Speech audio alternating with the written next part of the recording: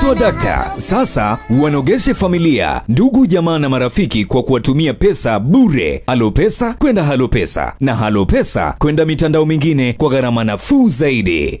Halotel pamoja katika ubora. Wafanyabiashara wengi wameshindwa kujitambua walipo kati ya ujasiriamali na uchuzi. Mkurugenzi wa shirika la Star Foundation anasema hili limechangia sehemu kubwa kwa wafanyabiashara kutokupiga maendeleo kiuchumi. Kwenye mahojiano maalum na MCL Digital, mkurugenzi huyu anasema wafanyabiashara hao wanatakiwa kupata elimu ya kutosha kabla ya kuanza shughuli za biashara.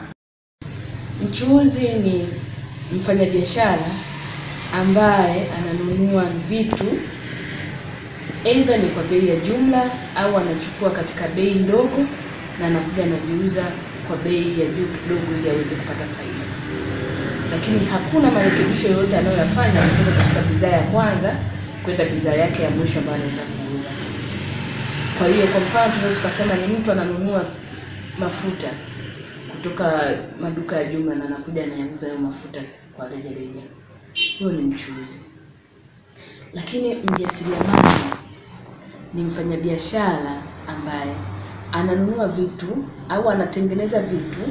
Anaweza akanunua vitu kwa bei ya jumla au akatengeneza vitu lakini akaviboresha, aidha akaboresha kwa huduma au akaboresha kile kitu au akaongeza chachu, labda ni katika matangazo, katika uh, kuwakarimu wateja au katika kukiboresha, kukirembesha kile kitu ili kiweze kuwa na thamani zaidi ya vile alivyokipata mara ya kwanza.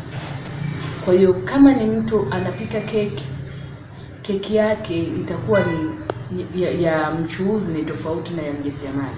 Ya mchuuzi atapika tu labda atauza, lakini mjasiriamali kwanza anaweza akaongeza kwamba anampelekea mtu delivery, anaitangaza ile biashara yake kwamba nitakapokupikia keki nitakupa keki kidogo, vile vikeki kidogo kwa ajili ya zawadi. Yaani anaongeza, anaboresha ile bidhaa yake kuweza kukaribisha au kuweza kuvutia soko zaidi. Je, wewe ni mchuuzi au ni mjasiriamali? Na kama ni mjasiriamali, je, unajua sababu ya kufata vile vitu ili uweze kuwa mjasiriamali kweli? Maana lazima kama ni mjasiriamali, inabidi uboreshe ile bidhaa uliyoipata ya kwanza mpaka ikaboreke kuwa ni bidhaa ya mwisho wewe unapompa mteja. Lakini ikienda kama ilivyo, wewe sio mjasiriamali. Mjasiriamali ni mtu ambaye anazidi kuwa mbunifu kuweza kulipata soko. Hivyo basi, najua watu wengi tulikuwa tujui hivi. Unanunua nguo unaenda unaziuza kwa ujumla, unasema wewe ni mjasiriamali. Wewe sio mjasiriamali kama hauna chembe chembe za ujasiriamali. Wewe utakuwa ni mchuuzi tu. Kwa hiyo nawashauri, kama mtu mnafikiria uwe na maendeleo katika biashara yako, usikomee kuwa mchuuzi. Mmoja kati ya wafanyabiashara jijini Mwanza anasema ingependeza zaidi iwapo mamlaka husika zingejitokeza na kutoa elimu kwa watu wenye nia ya kufanya biashara kabla ya kujiingiza kwenye shughuli hizo za kiuchumi.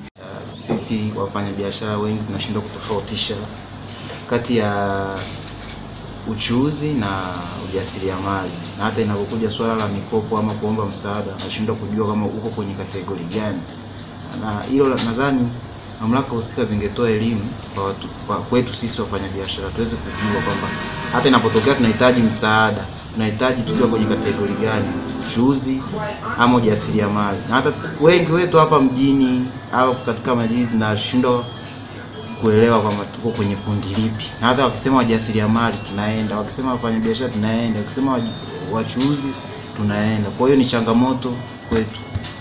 Kutoka jijini Mwanza, jina langu Jonathan Musa, MCL Digital.